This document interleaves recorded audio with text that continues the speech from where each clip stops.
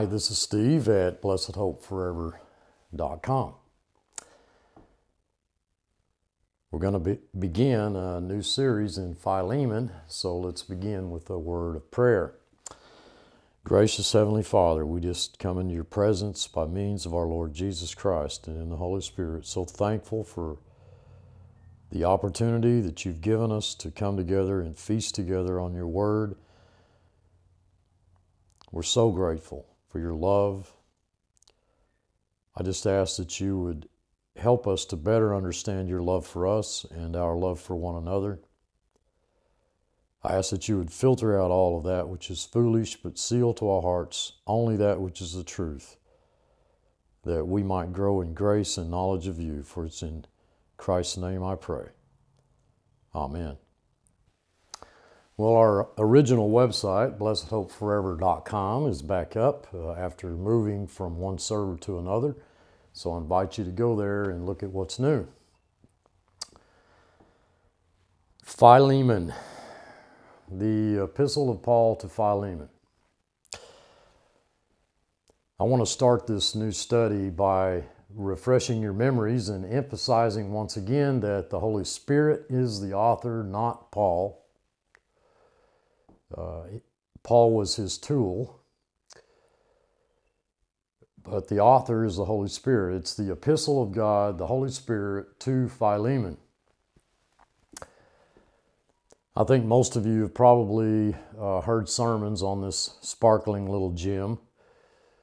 It's loved by every minister. You can cover the book in one message, and, and multitudes have done that. There's a credible amount of history behind the book.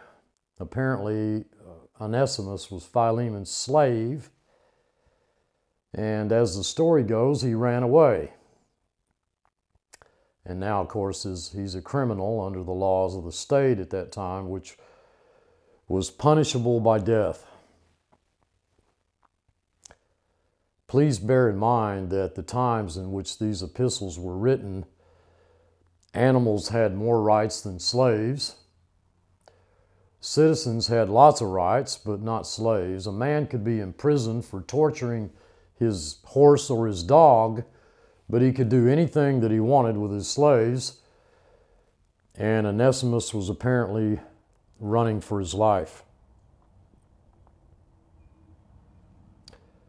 We'll see as we go through the epistle that Onesimus was where he, he was uh, Paul was where he was by the sovereign direction of God, which is a point that's almost always missed. And somehow or another, we are told that, well, he stumbled into the Pacific Garden Mission in Rome and he ran into Paul where he was converted. And Paul sent him back with this letter so that Philemon would forgive him and restore him to fellowship. And uh, that's pretty much the story. And it's true. I don't want to miss the, the purpose of the letter and the epistle by scrutinizing it so closely that we miss the overall beautiful illustration of the finished work of Jesus Christ. However, I am of the opinion that that that finished work will become more brilliant if we look uh, just a bit more closely at the verses and we don't rush through this. These 25 verses. The epistle begins Paul, a prisoner of Jesus Christ, and Timothy, our brother, unto Philemon, our dearly beloved and fellow laborer. Now, this is a rather interesting first verse. The, the Holy Spirit may have used Paul as a tool to write 14 letters that are included in the canon. You know, we're we're quite certain that he used him for 13, but whether he wrote Hebrews or not, or at least whether the Holy Spirit used Paul to write Hebrews, we're not certain. But of the 13 epistles, let me refresh your memory. In Romans, Paul says that he's a slave and an apostle called by God. In 1 Corinthians, he says he's an apostle called by God. In 2 Corinthians, he says he's an apostle called by God. In Galatians, he says he's an apostle. In Ephesians, he says that he's an apostle. In Philippians, he says that he's a slave, a bondservant. In Colossians, he says that he's an apostle. In 1 Thessalonians, we have the first break in that chain. He doesn't say anything, he just says Paul. And all of a sudden, in the, in the epistles to the Thessalonians, we find that there is a message of fellowship and communion with the body of Christ, and it's just Paul. And that's the first break in that chain of authority.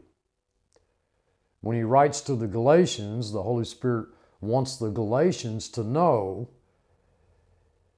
that the Holy Spirit is using Paul as a commissioned apostle. The word apostello puts emphasis on the sender. And so the emphasis is on the Lord Jesus Christ. And the message to those in Galatia was one of grace versus law.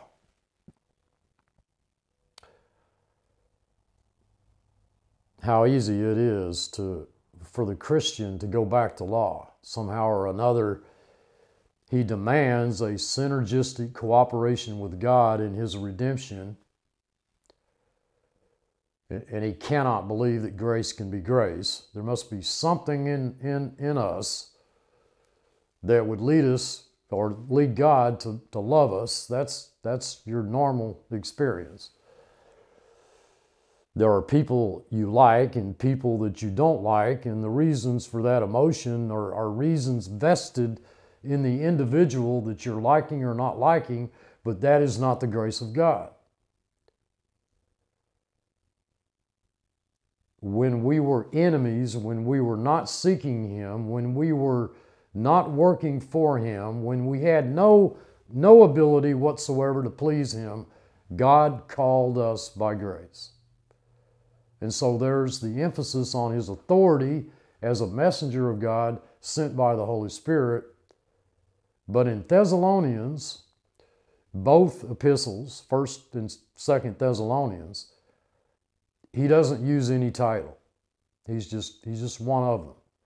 And the Holy Spirit is using him to bring messages of comfort, messages of encouragement, and the soon return of our Lord Jesus Christ. And now we get to 1 Timothy, and there he's an apostle, both in 1st and 2nd Timothy.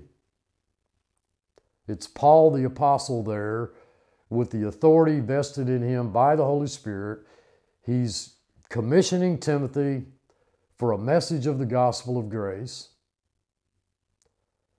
In Titus, he's a slave and an apostle. And the last of the 13 is Philemon, and he's a prisoner. Now, it seems to me immediately we've set the tone for this little letter. If we were to translate that in modern day English, I believe our translation would be Jesus Christ's prisoner. Now, there's been all kinds of TV programs and movies, you know, written on bounty hunters and, and FBI and marshals and sheriffs and, and Texas Rangers and, you know, God knows what else, who have taken people captive, taken them prisoner. Sometimes the, the prisoners escape, sometimes you know, sometimes they lead those authorities on a merry little chase. What do you suppose it would be like to be the prisoner of Jesus Christ? Paul is close to the end of his human life. Those things are, are much more difficult to comprehend when we're, you know, 20 and 30 years old, but it won't be long until Paul is in the presence of God we have every historical reason in the world to believe that Paul was a relatively wealthy man. One writer has said that Paul was able personally to pay the annual wages of every working person in the city of Jerusalem for two years. So, relatively speaking, Paul was a wealthy man. We have indications of that in the book of Acts. We know we saw that in the book of Acts. We know that he was a Pharisee of the Pharisees. We have indications that he was, in fact, a member of the Sanhedrin and that he voted in that capacity, that he not only was a Pharisee of the Pharisees and a Hebrew of the Hebrews, but he was a Roman citizen and therefore he enjoyed rights that were much different compared to the treatment of the slave or, or other Jews who were not Roman citizens. And all of a sudden, he's struck down on the road to Damascus. And we are told in Timothy that Paul was struck down as a model, as an example, as a prototype of all who should hereafter believe. That, that, in, that includes us. Well, I, I, I read that in Timothy, and I go back and I look at Paul. He's on his way to Damascus. I don't know what kind of, of an entourage he had. It must have been interesting. And all of a sudden, he's blinded, struck down, and he hears a voice from heaven. Sounds like thunder to others, but he can understand it. And then someone has the gall to tell me that Paul decided that he was a sinner and that he needed a Savior and he accepted Jesus Christ.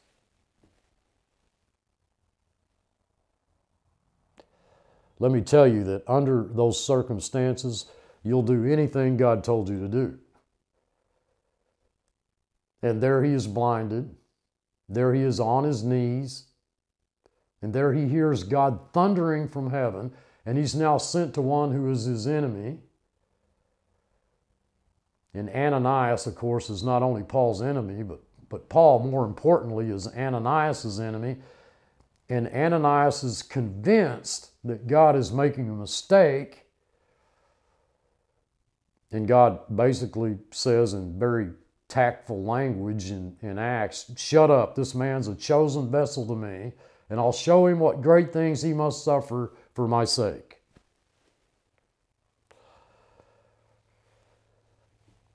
When do you suppose that it was in the life of Paul that he decided that he had seen enough? Oh, you know, okay, God, you've shown me. It's very clear to me. It's clear, it's just as clear as the daylight on my nose. I've been stoned, I've been beaten, I've been imprisoned. That's enough. You've now shown me how great things I must, what great things I must suffer for your name's sake. Now all of a sudden, Paul is imprisoned in Rome, and there he writes Ephesians and Colossians and Philemon from that prison cell. Sermons have been written, uh, uh, theses have been uh, written in seminaries on whether or not Paul was out of the will of God when he appealed to Caesar, and all of a sudden, I read in Philemon that he is Jesus Christ's prisoner. If I told you that Christ took him prisoner on the road to Damascus, I'd be lying.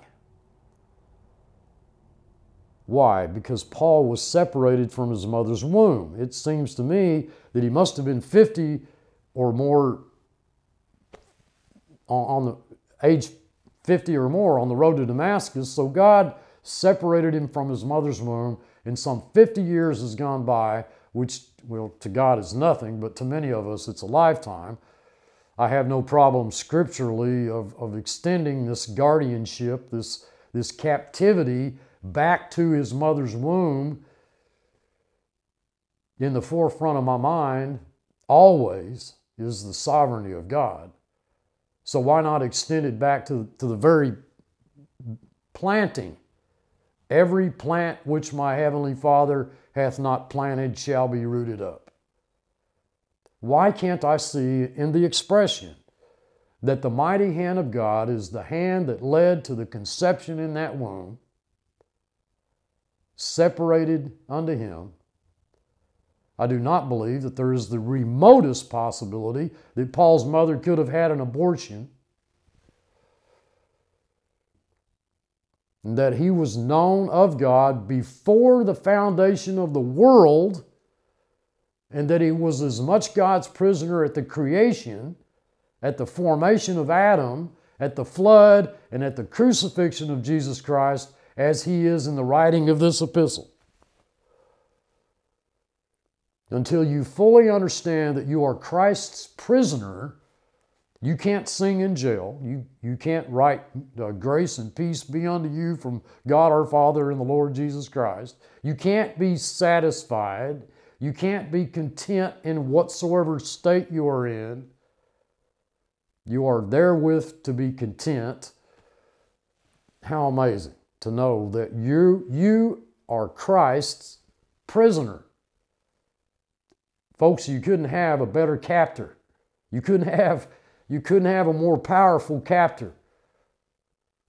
But you know, in the light of all of that consideration, the Lord Jesus Christ is not only a captor, but he is a captor who loves. And Paul could realize that no matter what touched his body, no matter what experience came into his life, no matter what difficulties, no matter what trials, no matter what testings, no matter what temptations that he would encounter along the path that God laid out for him, he was Christ's prisoner.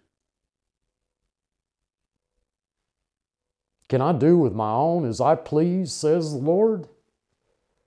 Well, the answer must be a, a, a, a battleship 10 inch gun blast, a deafening yes. If you know that you are Christ's prisoner, then you know you are right where He puts you. You're in the situation that is best for you. He's guarded your path, He's directed your steps. And if you are His prisoner, He hasn't forsaken you. Implicit in the expression is His constant guarding and protection. Who can come through the bars established by Christ without his permission after a life of suffering, being stoned, left for dead, beaten three times, 40 lashes minus one, which is the limit of the law? He wrote, The time of my departure is at hand, and, and soon he's to be executed. Not some death where he would, you know, lie in state, you know, and be honored, you know, as, as some beloved dignitary. When Paul wrote this letter through the inspiration of the Holy Spirit, there were men like Nero and Pilate and Herod. There were councils going on, and there were wars being fought, and financial problems being discussed, and business deals being consummated. And the prisoner sits in a, in a Roman cell and they're not even certain of the charges or how to deal with him. And there he sits in criminal injustice, and he can write, He's Christ's prisoner. He's not Rome's prisoner. He's not the prisoner of the Jews. He's not the prisoner of the people. He is Christ's prisoner. The government is incidental. The authorities belong to Christ. And in the certainty of that knowledge, he can write to Philemon and you and I grace and peace. He can sing in the prison cell to the amazement of the jailer. And he can write, I have found in whatsoever state I am, I can be content. And Christians by the millions quote those verses and they go to church and they study the Bible and they kick against those circumstances and they engineer and they plan, they won't change God's plan or they'll change their comfort and their joy. They'll not be able to write what Paul wrote through the inspiration of the Holy Spirit. They won't sing in the face of difficulty and they won't laugh in the presence of danger but, but they could. There is not one of you who belongs to the Lord Jesus Christ who is not also his prisoner. We're reminded of his words that he'll be a guide even unto death, that he knows the way that we take, that when he has tested us, we shall come forth as gold. I'd rather be the prisoner of Jesus Christ than anything human society could offer me.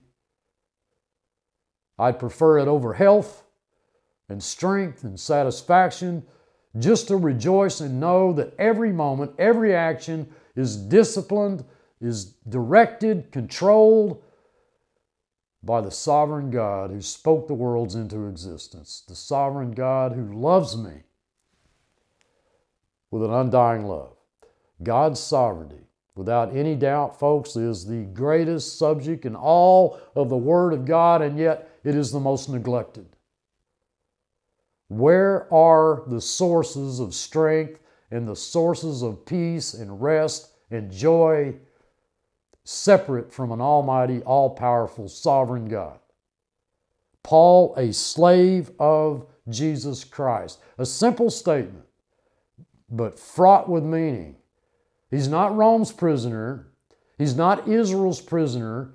He's not the prisoner of the Sanhedrin or of the Jewish attorneys. He is the prisoner who belongs to Jesus Christ. And Philemon is to know that Paul is satisfied. He's not distraught. He's not concerned. Please remember that this is being written from a jail cell, and Paul will shortly pass into the very presence of, of the one who died for him that he might live. Paul, Christ prisoner, and Timothy, the brother. Timothy didn't need to be there. You know, I trust that you realize by any, any critical examination of the scriptures that Timothy was not arrested and sent to Caesar.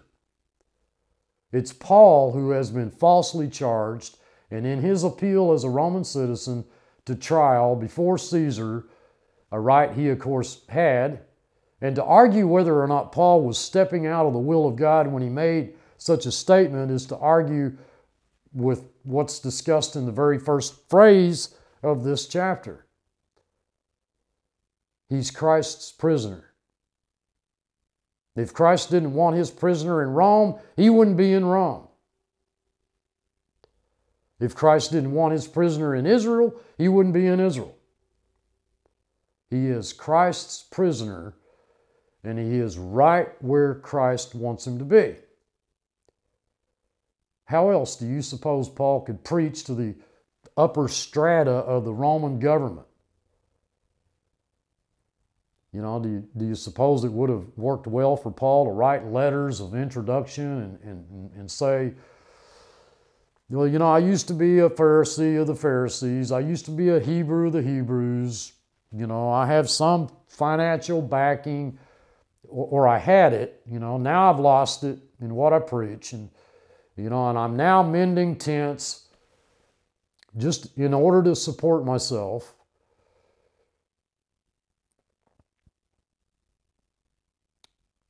Dearly beloved, God is God. God, of course, could have struck all of the Roman leaders with blindness and leprosy you know, and said that, you know, well, the only way that you could be healed is to invite Paul here to preach to you. God could have done that. It wouldn't have been good for Paul. It might have been, well, it might have impressed the people of Rome. It surely would have made Paul think that he was, well, the best thing since Kraft mayonnaise, or, uh, you know, best thing since Moses or Abraham you know, super opinions of himself. No, I have to conclude God did it right in one of the best ways to get the message to the Romans and to write the message that was needed for the other Christians was to have Paul go to Rome as a prisoner. That's the way the Lord Jesus Christ sent him. Looking at the text, I have every reason to believe that Timothy and his love for Paul followed him. He didn't have to go. He probably would have been more brilliant had he not gone because, you know, there's always the stigma that would be attached to an accused individual who may or may not be guilty and, you know, why run the risk of, you know, additional arrest and confinement? But apparently, from the Word of God alone, one concludes that Timothy left his activity and he went to Rome to comfort Paul and to be with him. and that he's cooperating with Paul through the Holy Spirit in the writing of this epistle. And so Christ's prisoner and Christ's brother, Timothy, the brother, seems to include a relationship with the Lord Jesus Christ, a writing unto Philemon.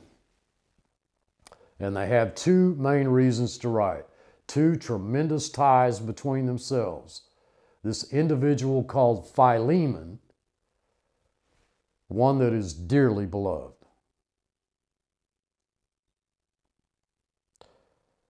You know, there's no conception whatsoever in modern music, modern entertainment, modern literature of the love of, of that God speaks of.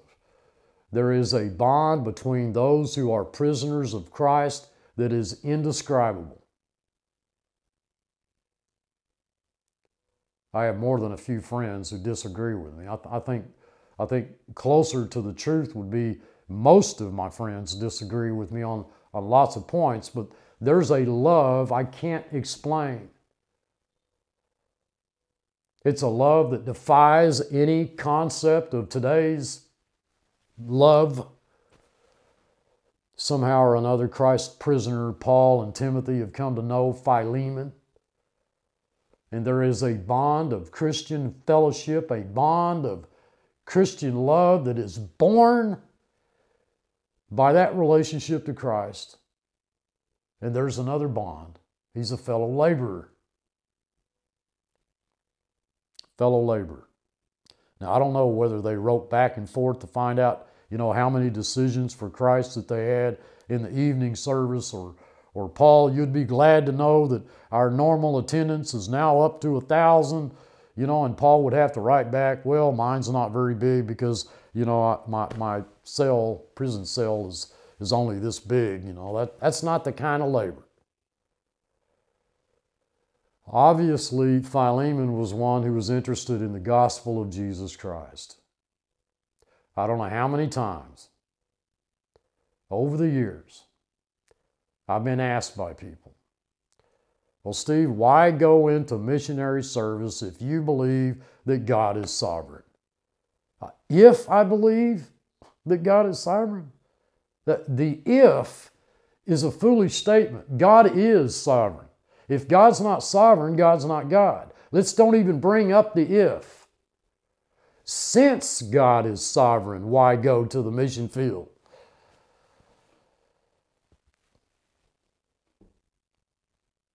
because I love Him. Because He asked me to go. I, folks, God could write it with the clouds, okay? He could write it with stars. He could thunder it with a voice from heaven that it'd be heard worldwide. And if you weren't paying attention, well, you'd kind of shake the ground a little bit, shake you around a little bit to, to, to get it. Right? But he doesn't do that. It pleased God by the foolishness of preaching to deliver those who believe. And Philemon is a fellow worker in that exercise. I can't imagine a greater privilege. I cannot imagine anything, dearly beloved, in, in life, and I enjoy my labor in the Word. I, I, I probably enjoy it too much. I'm, I'm a workaholic, I guess, but I really do enjoy it, and that to me pales in, in, into insignificance compared to being allowed by the sovereign God to carry the good news that He cares for and He has provided for His own. What a privilege. What a privilege to learn to grow in knowledge of Him, to sit back in utter astonishment at, at, how He works.